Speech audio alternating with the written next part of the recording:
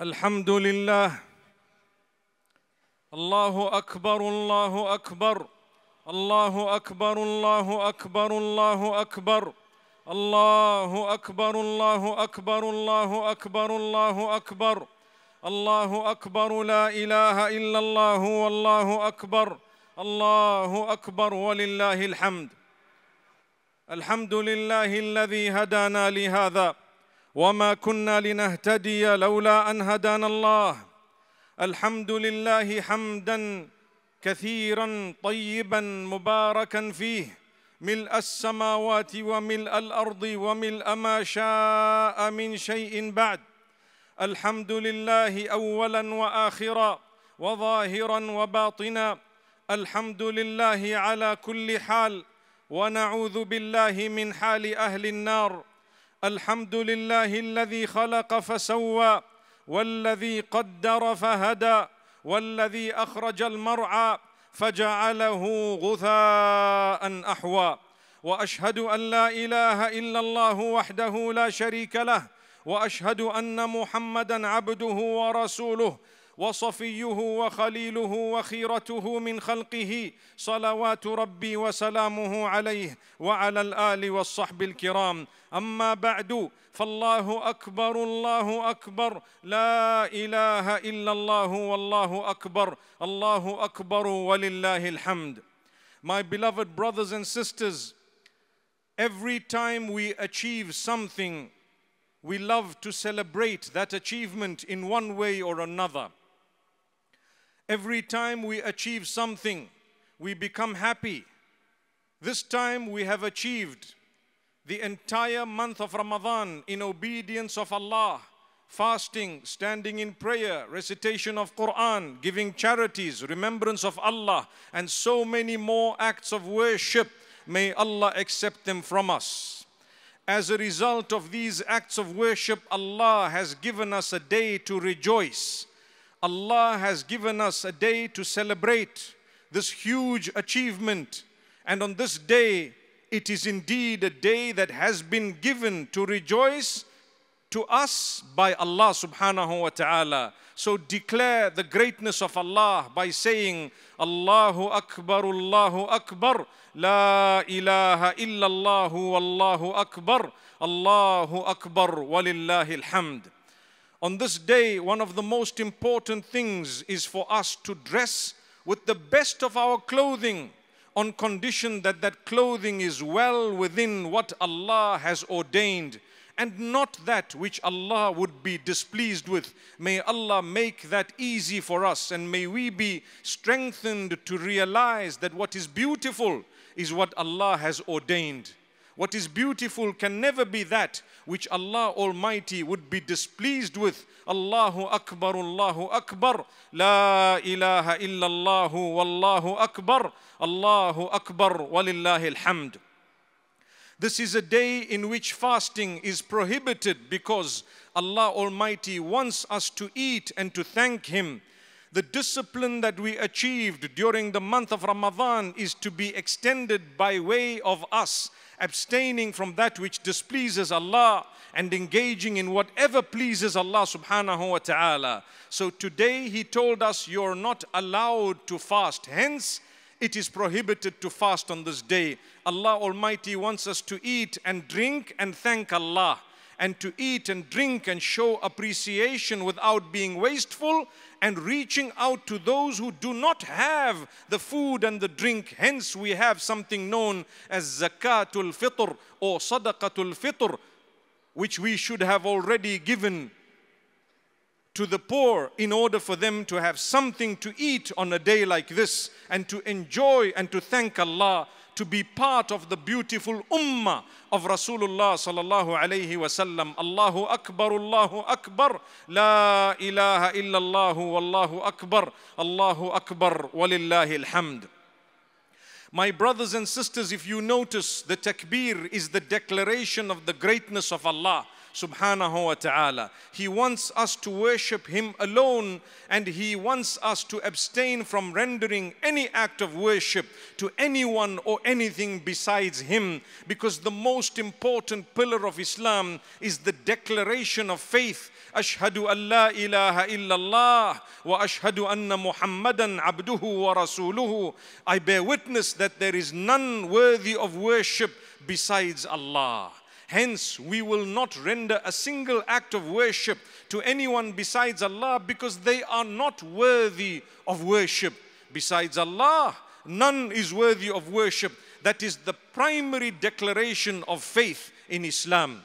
And I bear witness that Muhammad sallallahu alayhi wasallam is his messenger and his prophet. So whatever he brought, whatever he did, whatever he said, I will take it very seriously. Allahu Akbar, Allahu Akbar, La ilaha illallah, Allahu Akbar, Allahu Akbar, walillahi alhamd on a day of Eid, Allah Almighty wants you to gather together and to do Eid in a large group known as the Ummah because we need to support one another. We need to greet one another with Assalamu alaikum.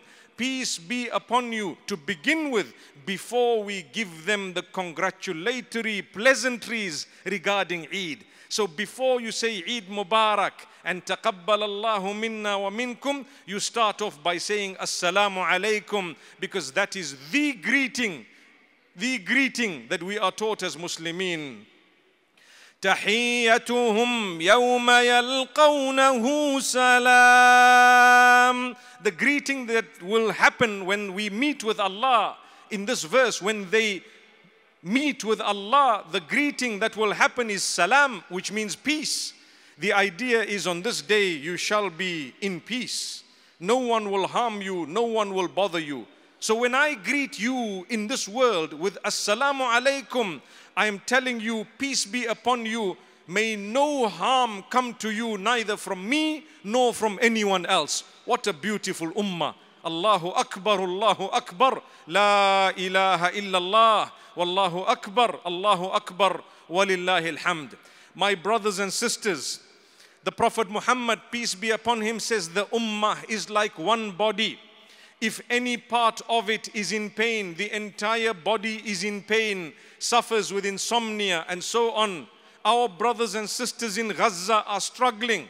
Our brothers and sisters in Palestine need our dua and our help, our support in whatever way we can. It would be wrong for us to have a day of Eid without remembering them. Oh Allah, grant them goodness. Oh Allah, protect them. Oh Allah, grant them victory. Oh Allah, help them. Oh Allah, you know that we are bleeding within. Oh Allah, help them and grant them the best of this world and the next. Oh Allah, forgive our shortcomings as an ummah, for indeed we have failed them. We know your strength, Ya Allah. You have allowed this to happen, oh Allah, for reasons you know best. You expect us to help them too, Ya Allah. But Ilah al Alameen, we have failed them. Forgive our shortcomings. My brothers and sisters, as you continue through this day, don't forget your brothers and sisters in Palestine. And beyond Palestine, wherever they are suffering and struggling, be it in Sudan or Somalia or Afghanistan or wherever else it may be, there are brothers and sisters of ours who are struggling. And at times, people are struggling in our own midst without us knowing. Oh Allah, alleviate their struggles. Whoever is going through difficulty, Ilah al Alameen, make it easy for them. Allahu Akbar, Allahu Akbar, La ilaha illallah, Wallahu Akbar, Allahu Akbar, Walillahi alhamd. My brothers and sisters, many people have started taking their deen seriously. And many people are entering the fold of Islam. Go easy on them as you are teaching them, as you are encouraging them. Go easy on them and realize and understand that Allah always brings His worshippers and His slaves who are sincere and who continuously ask Him to guide them. He brings them towards the guidance at times with baby steps, one at a time. But trust me, as an ummah, we care for everyone, the weak and the strong, and we pray for them and we will not harm them. So be conscious of the fact that many who may not be practicing as well as they should need a nudge and they need to be helped and supported. A word of encouragement needs to be said to them rather than a word that will chase them away from the deen of Allah.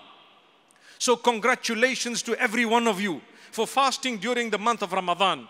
If because of sickness or travel you were unable to fast, there is no sin upon you. You make it up after today, any of the days, insha'Allah, and you will be rewarded in a similar fashion because that is the mercy of Allah. Allah Almighty tells us whoever has not fasted because of travel and because of being unwell and so on, they will fast and make it up later. Similarly, a woman who was unable to fast due to her cycle, Allah Almighty asks uh, her to make up the fasts later and she will achieve a greater reward because not only did she observe the Ramadan in the obedience of Allah, when Allah said eat, she ate. When Allah said do not eat, she did not eat. When Allah said fast, she fasted. When Allah said do not fast, she did not fast. So not only did she achieve the reward of Ramadan, but even out of Ramadan, when she makes up the fasts, they will be equivalent to the fast of Ramadan. May Allah Almighty bless all of us. May Allah Almighty grant us from His virtue, Allahu Akbar, Allahu Akbar, La ilaha illallah, Allahu Akbar, Allahu Akbar, walillahi alhamd. My brothers and sisters, as an ummah, we are one body. There may be differences amongst us, but remember, never disrespect a person who utters the Shahada. In fact, we are taught not to disrespect another human because everyone is a potential Muslim. May Allah Almighty grant us goodness and guide us and guide everyone else to the straight path. Ameen. My brothers and sisters in your families, solve your matters and your problems. You have differences with your parents, with your brothers and sisters, uncles and aunts, with your husbands or your wives. Make sure that you resolve the matters. This is a day to solve matters. It's not a competition as to who was right and who was wrong.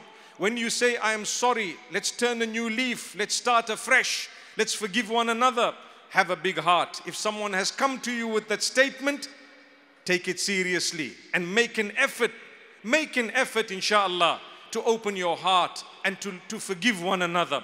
This life is very short. We live for a few years, we return to Allah subhanahu wa ta'ala. There is no point in holding grudges for so long with your own kith and kin. Allah says in the Quran that goodness is achieved by those who try to resolve matters and to solve problems, especially with those whom you are related to. May Allah Almighty help us. On this day, we remember the deceased, the martyrs of Gaza and Palestine. May Allah grant them the highest ranks of Jannah and the martyrs and those who've passed away from any other place in the world, the entire ummah, we ask Allah to forgive them too. Allahu Akbar, Allahu Akbar, La ilaha illallah, Allahu Akbar, Allahu Akbar, walillahi alhamd. My brothers and sisters, what a beautiful day. We're all smelling quite good, we're looking quite good. All this in the pleasure of Allah. When Allah asked us, we went ahead and we did it.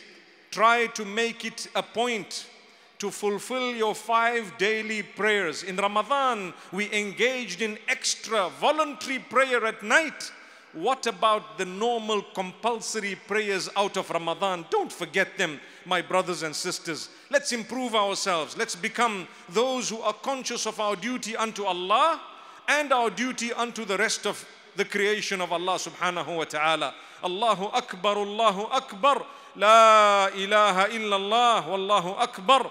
الله اكبر ولله الحمد بارك الله لي ولكم في القران والسنة ونفعني واياكم بما فيهما من الايات والحكمه أقول قولي هذا واستغفر الله لي ولكم ولسائر المسلمين فاستغفروه انه هو الغفور الرحيم